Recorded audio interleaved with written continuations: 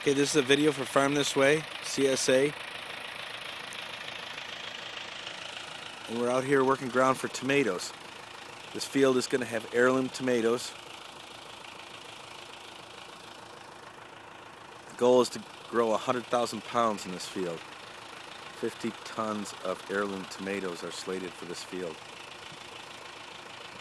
Special welcome to WBEN listeners who heard about Farm This Way just this week on WBEN 930.